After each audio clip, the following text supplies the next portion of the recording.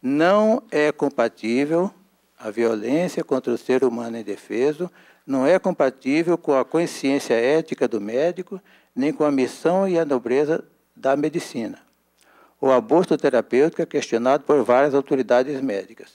Fizemos há tempo um livro sobre aborto, que eu não vou ler todos os casos, mas mostrando que várias autoridades, entre eles eu diria, professor Eurípides Erbini, cirurgia cardiovascular, professor Adolfo Barcellini, professor José Bocanegra Arroio, cardiologia, professor Aloysio Veiga de Paula e professor Hélio Fraga, pneumologia, professor José Leme Lopes, psiquiatria, professor Herbert Prachedes, hematologia, professor José Ribeiro do Vale, bioquímica e farmacologia, e professor Álvaro Guimarães Filho, professor Henrique Paravente e professor Emílio Mastroianni, obstetrícia.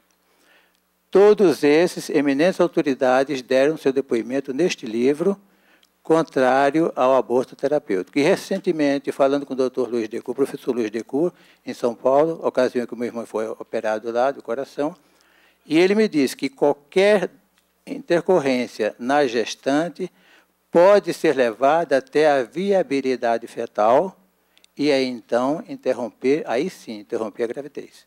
Já não é mais aborto, porque a criança já é viável. Todos os casos, ele não fez exceção. Pode, a medicina hoje tem recursos para levar adiante esta gravidez até a viabilidade fetal. Portanto, não se justifica como aborto terapêutico que se pretende fazer como com a criança anencefálica. A ciência e a técnica devem se colocar sempre a favor da vida e do bem-estar do ser humano, no seu direito inquestionável de nascer e existir, princípio solenemente consagrado em todos os atos médicos. Qualquer manipulação do nascituro com o fim de levá-lo à sua expulsão é, sem dúvida, um aborto, desde que seja feito antes da viabilidade. Um texto aprovado por unanimidade pelo Comitê Natural de Bioética da Itália afirma: o anencéfalo é uma pessoa viva e a reduzida expectativa de vida não limita os seus direitos e a sua dignidade humana. A permissão para abortamento em caso de anencefalia é, sem dúvida, mais um passo para o abortamento eugênico, porque no caso em tela, se não há perigo para a vida da mãe, o que reza o nosso Código Penal é, se não, é, não diz que não é crime, mas diz que não se pune o crime desde que não haja outro meio de salvar a vida da gestante. Assim diz o Código Penal.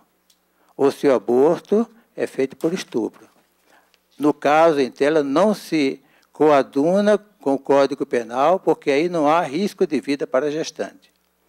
A permissão para abortamentos em caso de anencefalia é um, então um abortamento eugênico, uma experiência traumática para qualquer civilização humana, a eugenia. Né? A eugenia, eliminando as vidas carentes de valor, como já foi dito antigamente, foi condenada no Tribunal de Nuremberg, com os crimes nazistas.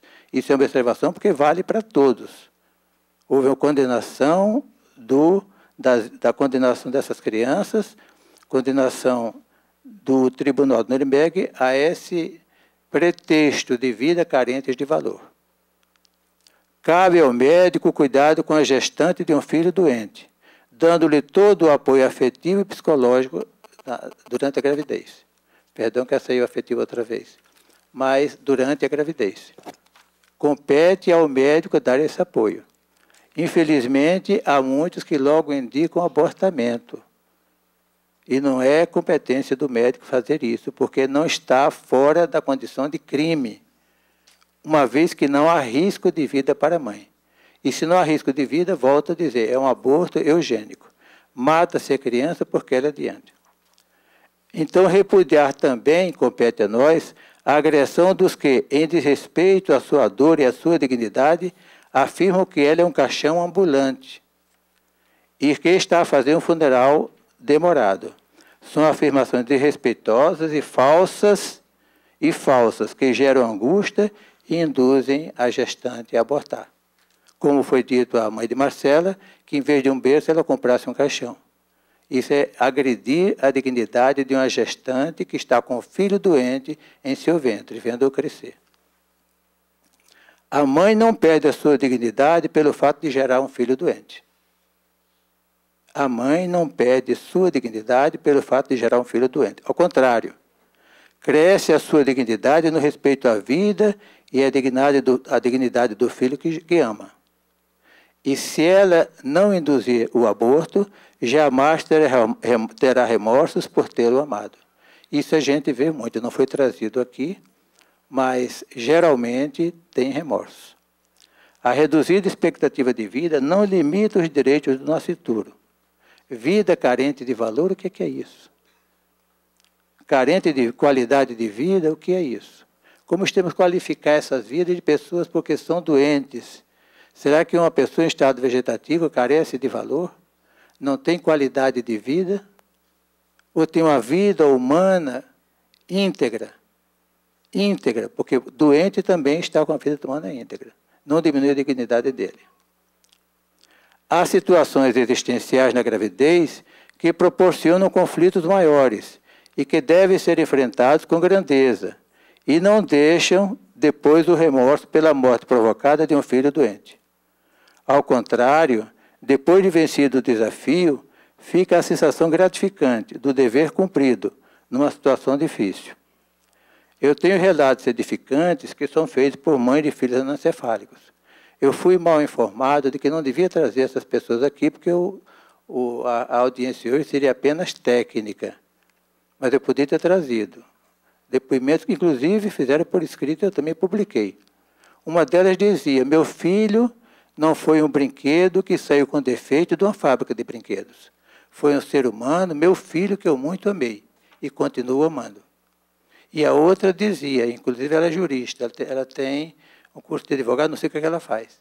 Mas ela dizia, como está morta uma criança dentro de meu útero, que está, bate, que está com o coração batendo, que está se mexendo, dizer que esse meu filho está morto, que eu sou um caixão ambulante, isso é uma falta de respeito à mãe que quer continuar com seu filho que não vai ter depois o remorso, porque tem remorso. E a gente sabe que, entrevistando mulheres que fizeram aborto, eu não digo no caso específico do, do, da criança encefálica, mas todas as mulheres que fazem o aborto ficam para o resto da vida com aquilo marcado. E muitas dizem, se meu filho estivesse vivo, hoje estaria com tal idade. E é um fato. É uma mãe que rejeitou o próprio filho. houve quem falasse em razão científica para o aborto. Falava para evitar o nascimento de um feto cientificamente sem vida, inteiramente desprovido de cérebro, incapaz de existir por si só. Isso é uma inverdade. Não está cientificamente sem vida, não. Ela tem, está é, é, com o coração batendo dentro do útero, ela se mexe. Como dizer que está sem vida? Ainda mais de cientificamente. É por isso que há muitos cientistas que, infelizmente, dizem coisas. Eu trago um, um, um depoimento também de Tom Wilker, no projeto Genoma Humano, um trabalho que ele fez sobre o genoma humano, na época do genoma, em que ele, em determinada parte, ele fala dos cientistas. E quem diz isso não é ele propriamente, ele cita o pioneiro da fertilização in vitro, Robert Edwards, que com Patrick Steptoe foi o pioneiro da técnica de fertilização in vitro, o qual permitiu o nascimento do primeiro bebê de proveta do mundo. Num discurso feito em 1987, no Centro de Política e Ética Social da Universidade de Manchester, Edwards advertiu que não se deve, não sou eu que estou dizendo, Edwards, que fez o primeiro bebê de proveta advertiu que não se deve esperar dos cientistas orientação moral sobre as consequências de seu trabalho. Literalmente, os cientistas são notoriamente desprovidos de ética se comparados à população em geral. Muitos deles não se interessam em participar desses debates, sequer em seu próprio campo de trabalho, a menos que as circunstâncias sociais os empurrem literalmente para a discussão ética. A maioria dos cientistas nunca teve uma formação ética e enfrenta consideráveis dificuldades quando obrigado a expressar suas, seus próprios princípios éticos em relação à sua disciplina. Isso é dito por um cientista que, nas suas experiências, levou à morte muitas crianças, porque até a fertilização in vitro se estabelecer, foram milhares de crianças sacrificadas. Porque é difícil você levar uma vida que não é gerada dentro da própria mulher. Fazer in vitro. A própria fertilização in vitro é uma tragédia ética. Tem, no, tem redução seletiva de embriões supranumerários. Fazem demais, porque se colocar um só no útero não dá, dois não dá, tem que colocar quatro ou cinco. Se os quatro ou cinco vingam, o útero não é capaz de levar aquilo adiante. Então eles matam.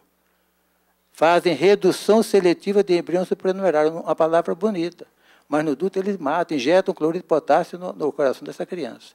Eu estou citando isso para mostrar o que ele disse com relação à ciência, que é pelo fato de ser cientista que tem formação moral, não é fica tão elevado em sua ciência que muitas vezes não leva em consideração a filosofia moral. E na fertilização in vitro isso é um fato corriqueiro, porque toda ela é uma tragédia ética. A mulher às vezes sofre, a superestimulação ovariana, algumas já morreram, porque precisa de muitos ovos, porque um só não adianta, dois não adianta, tem que ser oito, nove. Então, você, nós podemos ver o que é realmente uma ciência desprovida de ética. Ao lado da formação ética, vem a formação científica, da sua ciência especial. Doutor Dernival, eu, eu pediria a Vossa Excelência para concluir, continuaríamos ouvindo, mas nós temos um horário que é exíguo né, para. É porque eu pensei que não houvesse esse horário, sabe, ministro, porque é. realmente houve. Inclusive, fico triste de não poder ter trazido aqui depoimentos que também foi dado ao casal de muito tempo. Eu não, não estou contra. Sim, de qualquer forma, eu acho que é muito bom. De qualquer forma, nós poderíamos ter a juntada de memorial ao processo. Perfeito. Né? Posso fazer isso. Então, é, essas sentenças de dizer que é feito o aborto para evitar o nascimento de um feto cientificamente sem vida é inteiramente desprovido de cérebro, é capaz de existir por si só, e incapaz é uma afirmação, como eu disse, desprovida de fundamento científico. Sentenças como essas poderiam influenciar o conceito que tem um cidadão comum, sem maiores informações, e desprovido, portanto, de, dessas necessária informação para poder fazer o seu conceito.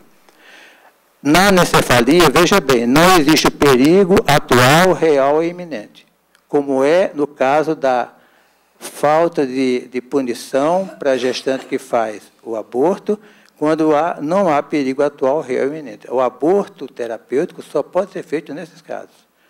Polidrânio, excesso de líquido aniótico, é uma intercorrência na gestação. E o tratamento preconizado é a aniocentética, que qualquer ginecologista já faz. Doutor, em geral, o obstetra está apto doutor. a realizá-las. É tirar o líquido aniótico, faz uma punção no útero e tira. Sem nenhum problema para a gravidez doutor, nem para o neném. Nival, eu peço que Vossa Excelência colabore com eu a mesa, lendo é, concluindo concluindo o seu raciocínio, porque o tempo está esgotado. Pois, tá, pois não. Então.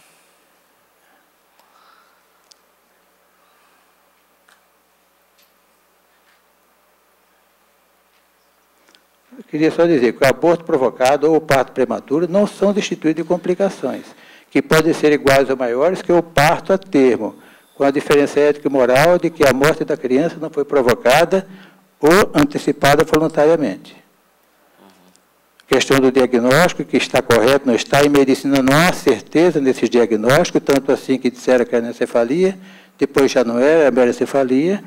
Então, isso que eu quero chamar a atenção para não falar em aborto, o eufemismo, antecipação do parto, que é incorretamente na obstetrícia, é incorretamente usado. Antecipação do parto é quando já é uma criança viável, já, está, já pode sofrer, passar pelo parto. Então, é um caso grave da criança, e vão matar porque são doentes. Não há perigo de vida, logo se configura um aborto não terapêutico. É um aborto eugênico. Então, quiseram dar uma solução utilitarista, que é a doação de órgãos, que hoje já se vê que não interessa. Que os órgãos donencefálicos são desprovidos de, de, de perfeição suficiente para vingarem. E falaram, inclusive, morte cerebral, que também é outra coisa, a gente vê esses eufemismos. Não existe nada de morte cerebral. Existe. Doutor Dernival, por gentileza, queira concluir. Então, vou passar para o último.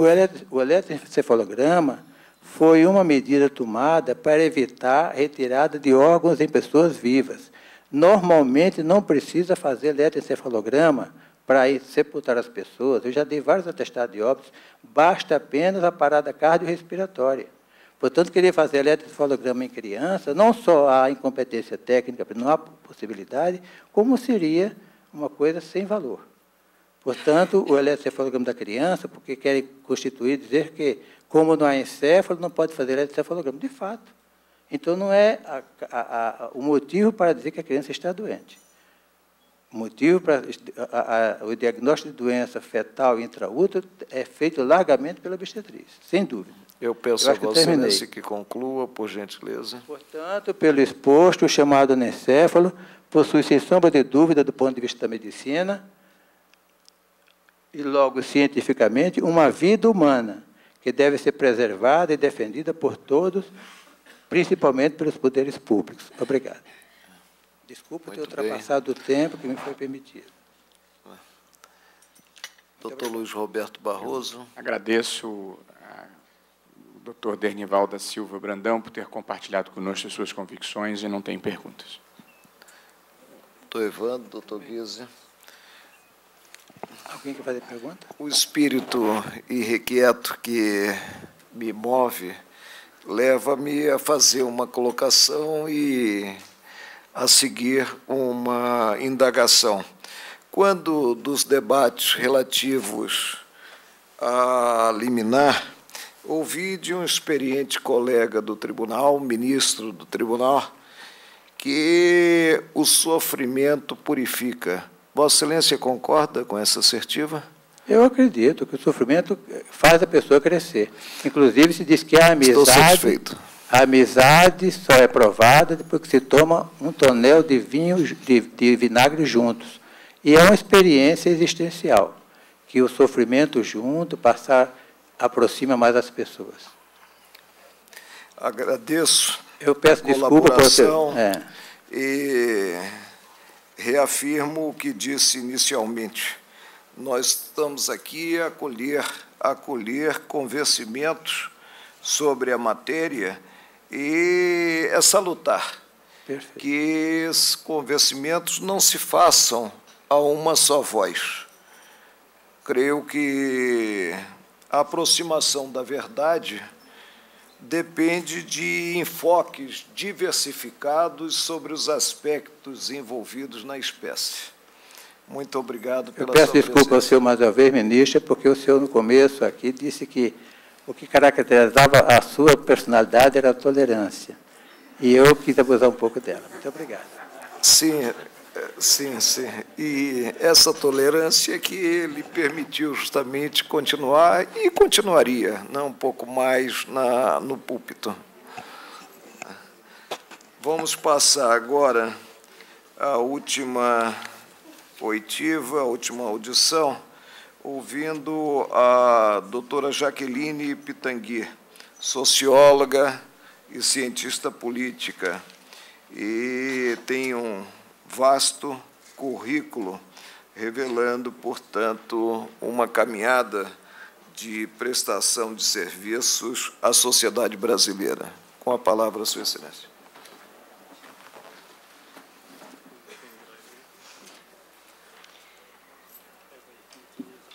Não. Excelentíssimo senhor ministro Marco Aurélio Melo, na pessoa de quem eu cumprimento os demais ministros desse tribunal, é, autoridades, é, prezados expositores, senhores e senhoras. Eu agradeço a oportunidade por participar dessa audiência, para, em nome do Conselho Nacional dos Direitos da Mulher, enquanto coordenadora da CEPIA, Cidadania, Estudo, Pesquisa, Informação e Ação, e integrante da Comissão de Cidadania e Reprodução, apresentar alguns argumentos no sentido de que seja autorizada a interrupção voluntária da gravidez em gestações de fetos anencéfalos. Esses argumentos se apoiam nas seguintes considerações. A lei que rege os transplantes, a Lei 9434-97 afirma que o critério para o reconhecimento do óbito é a morte encefálica ou morte cerebral. Isso significa que o conceito de vida está intimamente ligado às funções cerebrais, que nos tornam seres humanos capazes de pensar, sentir, interpretar de diversas formas o mundo, sonhar, relacionar-se. A ausência de cérebro seria assim compreendida como ausência de vida. Se esse princípio é válido, por exemplo, em um caso de atropelamento, quando, mesmo persistindo algumas funções vitais, é diagnosticado o falecimento daquela pessoa, como não estender este conceito ao concepto anancéfalo? Creio que não caberia, nessa circunstância, um debate filosófico sobre a vida. Em segundo lugar, mencionei que argumentaria no sentido de defender a interrupção voluntária da gravidez. Trata-se, assim, de defender um direito à escolha da mulher, que, se desejar levar a termo a gravidez nesta circunstância, está amparada pela lei e pelos serviços de saúde. Entretanto, a não permissão legal para a interrupção da gravidez, quando a gestante assim o deseja, é um grave desrespeito a seus direitos. Prevalece um concepto sem qualquer possibilidade de vida sobre uma cidadã plenamente capaz de tomar decisões e arcar com as suas consequências. Essa mulher é cidadã de um país democrático, plural e regido por um Estado laico. A separação entre igreja e Estado é um pilar da nossa República. E a sua defesa é fundamental para que os direitos civis, políticos sexuais e reprodutivos de todos os brasileiros e brasileiras que, com crenças religiosas e filosóficas diversas, convivem como cidadãos e cidadãs, com igualdade de direitos e deveres. A propósito da dimensão de direitos da mulher, gostaria de ler a nota do Conselho Nacional dos Direitos da Mulher. Conselho Nacional dos Direitos da Mulher, CNDM, vem publicamente reiterar seu posicionamento a respeito da interrupção da gestação em caso de fetos com anencefalia, no momento em que o tema volta à pauta do Supremo Tribunal Federal, quatro anos após a liminar que permitiu a interrupção de uma gestação com feto anencéfalo. Naquela ocasião, o CNDM manifestou sua posição. É direito das mulheres interromper a gestação em caso de anencefalia e é dever do Estado garantir esse direito. A aprovação da ADPF e arguição de descumprimento de preceito fundamental não significará a obrigatoriedade da antecipação do parto, mas possibilitará o exercício do direito de escolha. Reconhecemos o direito de escolha como um ato de proteção e solidariedade à dor e ao sofrimento das mulheres que vivenciam uma gravidez de feto anancéfalo, anomalia incompatível com a vida em 100% dos casos. O direito de escolha é uma questão de ética privada, não cabendo ao Estado a interferência em questões relacionadas a decisões sobre a saúde quando essa é colocada em risco, e a intimidade, devendo, no entanto, respeitar a diversidade e garantir princípios fundamentais da nossa Constituição. A Constituição Federal de 1988 reconheceu a universalidade do direito à saúde e o dever do Estado de oferecer gratuitamente a toda a população o acesso a esse direito. Finalmente, eu gostaria de me referir à argumentação relativa ao direito à saúde, as consequências de ser obrigada a levar a termo uma gravidez desse tipo. As dificuldades e perigos de uma gestação de anencéfalos, como hipertensão, maior possibilidade de eclâmpsia, já foram apresentados a esse tribunal. Ressalto, sobretudo, as terríveis sequelas emocionais. A Declaração Universal dos Direitos Humanos considera que o acesso ao progresso da ciência é um direito humano. O nosso Código Penal data da década de 40, quando não havia ecografia que permite que hoje seja realizado com exatidão o caso, o diagnóstico de casos de anencefalia já com 12 semanas. Na década de 40, se voltarmos atrás, ao levar a termo a gravidez, o choque emocional da gestante ocorreria provavelmente apenas no momento do parto. Hoje, entretanto,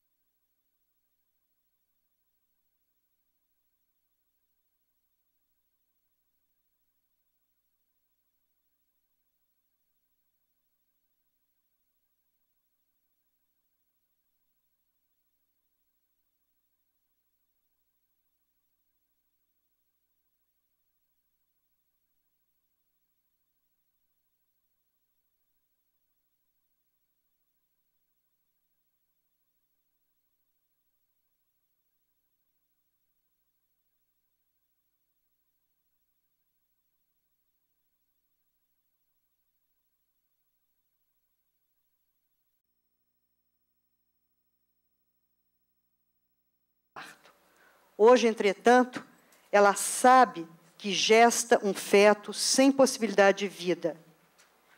E, se desejar interromper esta gestação, onde o seu útero é um sarcófago, por que deve ser obrigada a levar a termo esse processo, cujo final é um atestado de óbito em lugar de uma certidão de nascimento? E o enterro, em vez da alegria familiar pela chegada do bebê. Eu diria que obrigar uma mulher a vivenciar essa experiência é uma forma de tortura a ela impingida e um desrespeito a seus familiares, a seu marido ou companheiro, aos outros filhos, se ela os tiver. As consequências psicológicas de um trauma como esse são de longo prazo. Certamente a marcarão para sempre. Seu direito à saúde, entendido pela Organização Mundial de Saúde, como o direito a um estado de bem-estar físico e mental está sendo desrespeitado. Em um país em que a Constituição considera a saúde um direito de todos e um dever do Estado. Cabe perguntar, senhores ministros, em nome de que estamos negando-lhe esse direito, gerando nessa mulher sofrimento físico e mental? Muito obrigado pela atenção. Doutor Luiz Roberto Barroso. Não tenho perguntas, eh, ministro Marco Aurélio, apenas gostaria de agradecer à doutora Jaqueline Pitangui por emprestar a sua autoridade e o seu prestígio para a defesa da nossa causa. Muito obrigado. obrigado. Doutor Evandro. Doutor Guise.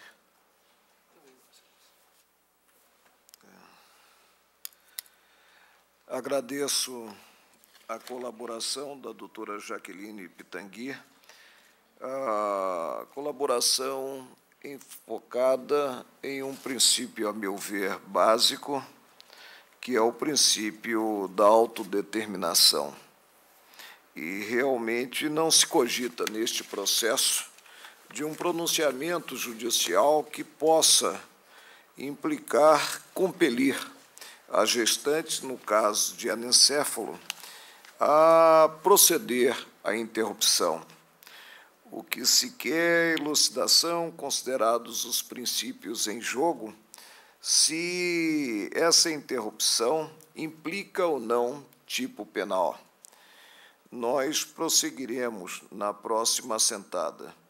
Eu cheguei mesmo a pensar em vincular a indagação que eu fiz ao doutor Dernival sobre a purificação aos demais expositores, mas vou poupá-los quanto à resposta sobre esse questionamento. Declaro encerrada a sessão e os meus agradecimentos e informo que o que exposto na audiência pública constará de DVD que será distribuído aos integrantes do tribunal será remetido ao Procurador-Geral da República, ao Advogado-Geral da União, ao Defensor da Arguente e também em reconhecimento sobre a valia da contribuição que trouxeram aos expositores. Muito obrigado a todos.